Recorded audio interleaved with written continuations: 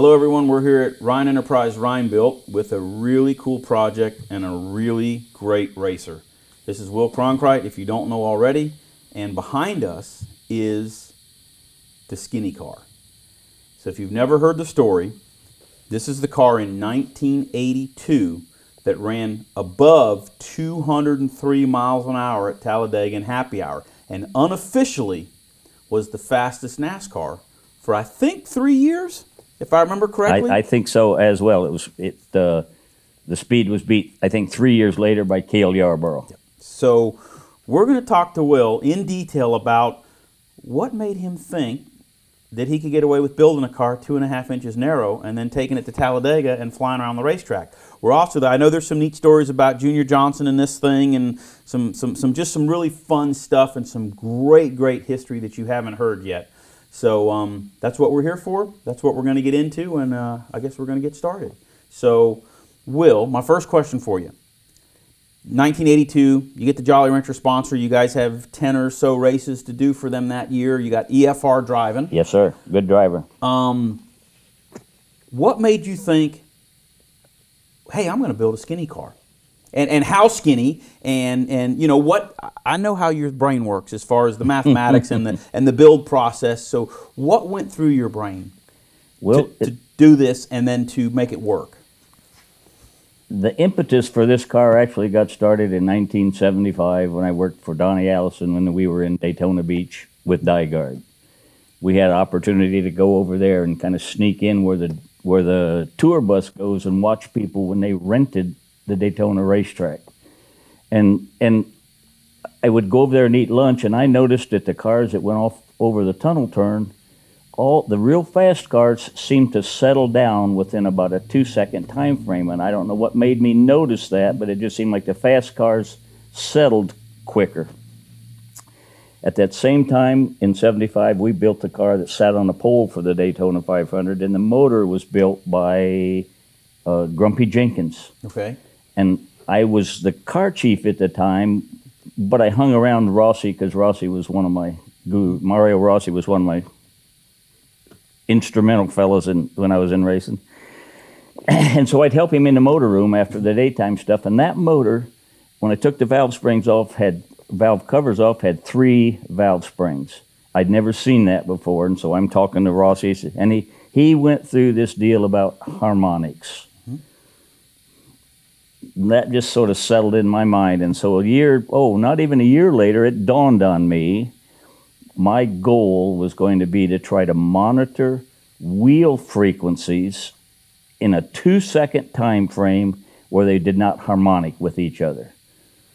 That was my thinking that those cars settled down in two seconds was because somehow their spring arrangement was such that they didn't oscillate against each other mm-hmm. after within a two second time frame.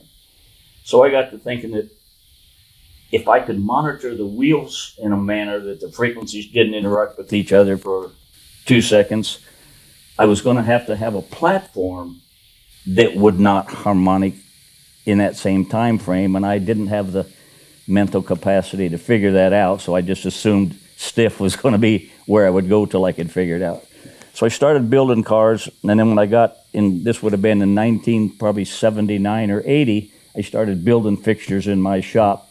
We had the capacity to build our own snouts, our rear clips, and the whole frame. And I've got some pictures I think you've seen Yeah. where I made a fixture to go overhead so I could make the chassis the way I wanted, set the chassis the way I wanted, and then mount the body on it to fit different racetracks, whichever one we applied for.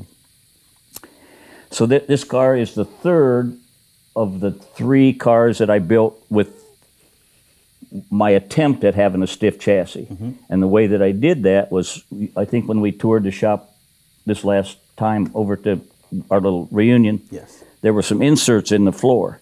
And in that place is where I started measuring torsional rigidity. Mm-hmm. And what I did was I, I built posts that would go underneath the screw jacks, no springs.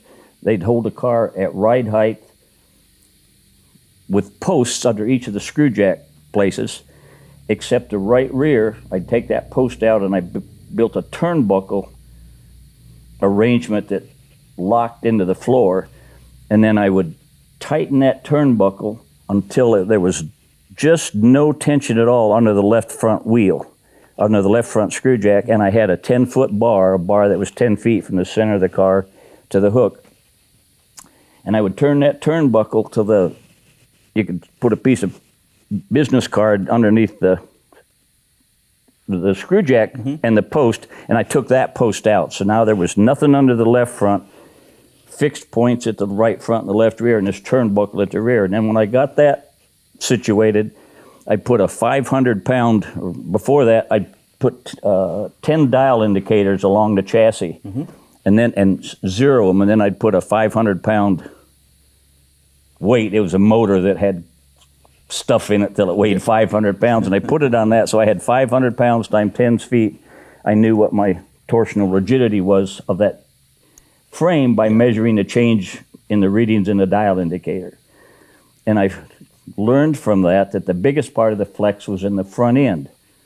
And I fancy myself a little bit of a vehicle dynamics mm-hmm. enthusiast.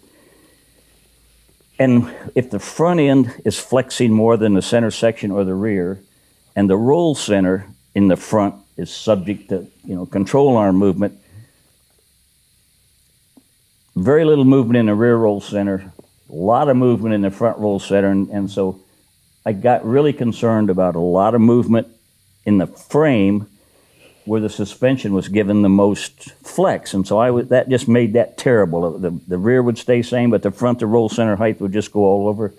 So I did some stuff to stiffen the front clip to minimize the change in the roll center heights. And to do that, I put the screw jack uh, over the screw jack. I ran that post and then triangulated. I call this a double Y design, where I got two lines come off the the main main section and join up here at this post, and then that bar went across the top. And and before I did that, the common cars, Hutcherson, Pagan, Banjos, and our cars were twisting at about 7,800 foot pounds per degree. Um, a banjo car without a body was 7,900 foot pounds. A Hutcherson Pagan car with a body on it, just just the sheet metal, was 86. And the, this this car right here twisted at 12,150 foot pounds per degree. So I Wow. achieved what I was Yep. what I was trying to do. I I don't know how viable that would be from safety concerns now, but it, it, that's that's what I was trying to do, and that did work. And when we had this car at Talladega, the, the design is such that the upper control arms go around that post, Right. And if you if you don't look real carefully, it looks like you can't take that upper control arm off and change it. And Bud Moore actually came down, said I was dumber than a bag of hammers, and, and then I Because you showed didn't it. think you'd get the A-frame off. Yeah. yeah. But then I told him to count the count the bolts, and he he figured that out. Mm. So I learned early. I learned from Rossi that the you, you can increase your speed with the square of the change in horsepower, Mm-hmm. but you can make that same improvement in speed by a, a reduction by a cube of the reduction in drag. So it was it it was obvious to me. My goal was always to chase aerodynamics. I just so I did a lot of stuff, countersinking rivets and that, and then it just became clear. You know, when you put when you're pushing air, the smaller Box. smaller box you're pushing, the faster that thing will go. And I wasn't a real keen body man, so I just figured we'd try to build us a car where we didn't have to do body work. You, you'll notice on this car, there's no flares on the rear fender. And we were fortunate enough to have a good driver at the time, Elliott Forbes Robinson. I, it, I'm very impressed with his background, how quickly he adjusted to the stock car racing. Very impressed with Elliott. And we had him um, for a number of races with the, the uh, Jolly Rancher people. So we was we were comfortable that we had a good shoe. Um, what, what, what was I talking about? The The aerodynamics and narrow? Oh, the yeah, the aerodynamic yeah. near of the car. Yeah. And I wasn't a top name competitor, and I didn't count on it, but it was pretty obvious they weren't looking at me very carefully. And I had simultaneously, about the time we were working with. You, you were taking advantage of anonymity. Yes, yeah, that's that's exactly that's exactly what it is. And it turned out it turned out I got away with at least one race. Um, and at the same time, we picked up the the Jolly Rancher people. I had a little bit of a budget that I hadn't had before, and so I. Um, Junior Johnson was has always been good to me. He sold me some radios that used to belong to Darrell Waltrip, and he's just he just was always kind to me and answered a lot of questions when I was thinking about writing a book. And so I asked him one time if he would consider rebuilding my motors. I thought it was a long shot, and he thought about it for a little bit. And we were at a racetrack, and he said, "I'll let me think about it." But he came back in an hour, and he said, "Yeah." He said, "Here's what we'll do." He said, "I'll you bring me the motor, mm-hmm. your stuff. I'll I will rebuild it for you." Mm-hmm. But when you get it, you don't you don't tell anybody that it came from me, mm-hmm. And don't you touch nothing. Yeah. Don't muck with any bolts. Yep. And we ran pretty good at Atlanta. Um, and this particular motor, I write in my book about two cops and a cannon where I accidentally shot the neighbor's house with a cannon. Um, that motor that was on that dyno at that time when them police came was was the motor that was going in this car to go to Talladega. So I, I had just put it on there. We were just trying headers. I think we were trying to decide where we're going to put the balance to between the headers. So it's a junior motor, and we go to Talladega, and Benny qualifies 200 and a little bit. Yes. I don't remember where junior qualified, but we qualified 18th. We were 198 and a little bit, I guess, 198 and a lot. And uh, for the life of me, the biggest mistake I've ever made was not putting new tires on to qualify. We'd crashed a car at Atlanta, so th- it, we got pressed into service. This was going to be an R and D car, but it was meant to be aero, an aerodynamic car. The next race was Talladega, and it was easier to finish this car than it was to fix the, the Well, the Atlanta car The, the Atlanta hurt. car was tore up pretty Yeah. bad, really bad. Um, so we put obviously we put Junior's motor in the car. We go down there, and then after my, my big mistake was not putting new tires on. Mm-hmm. For some reason, my logic was hard tires were going to be better. All right. I, I just admitted that Yeah. was a mistake. Yeah. So, so I we I did qualified on the old Talladega tires, but we came in and put new tires on. Elliott said there was he was having a little bit of a problem with it darting a little bit, so I laid a little more caster to both Mm-hmm. front wheels. We made a we made a jet change, a, a one number jet change, and went out in practice, and we went 203, 124 or something, and it drew a crowd. It drew a crowd so bad, we just put the hood down and went back and sat on them big two, big the benches there. benches yeah. that, Yep. that are there at Talladega. We're sitting there watching. That was when Bud Moore came down, raised the hood. Mm-hmm. He didn't ask. He just raised the hood, looked at them ball joints, and he says, "Come here." Like, so I come up here and he says, "You know, you're dumber than a bag of hammers. You're never going to be able to get that upper control arm changed." And that's my Bud Moore story. But then Junior came down because Junior Junior knew what the motor was. And he was mad. Well, originally. he wasn't. He wasn't too tickled because he, you know, he, he's a pretty bright boy. Yeah. Everybody knew he was brighter than me. He wondered if he could raise the hood, and so I asked him. He could. He pulled four hood pins off and raised the hood and looks at it, and he looks around and he goes around to that side of the car, and he's still holding the hood up. He hasn't got it on the latch as he's holding the hood. He looks at it and comes around, looks in the middle. He comes over on this side and looks at it, and he just looks at me and he twists his head like, you know, what the, what the hell did you do here? And he, he, you know, he knew what the motor was, and he knew I wasn't a motor guy, so he knew I. He was. I think he was mm-hmm. worried somebody else had played with Yeah. his motor. Yep. So he put the he put the hood down, put the four hood pins in it, and he started to walk away. And we're standing, we're sitting back there, and he's over there with that mm-hmm. pin he put in last, and he just looks at the car and he walks up. And as he's walking off, he looked down this side of this side of the car. You know, Junior got them bib overalls. He puts his hands in there and he takes two steps. And I see him stop, turn around, look at that car, and he just he, he didn't turn around. He just backed up two steps and looked down the side of that car. Went like that and walked off. That's how sharp he was. Well, it, took, he- it only took he him that long to figure Well, it out. He saw Yeah. there was no fender Yep. flares, and he figured he figured that out. And it was a, it was it was a little bit more than two inches narrow, and it had been narrower than that if I could have figured out another way to shorten the lower Yeah. control arm. So Yeah. You've, you've done an outstanding job putting that thing back in there, Bill. I'm So Proud so, of it. So one of my guys, I'm, I'm going to say this story. You know this story because you helped us verify this is the real car. Um, but for everybody out there, so they know the real story, we found this car in New Jersey. It came up for sale. It had a Monte Carlo body on it, an Aero Coupe Monte Carlo body.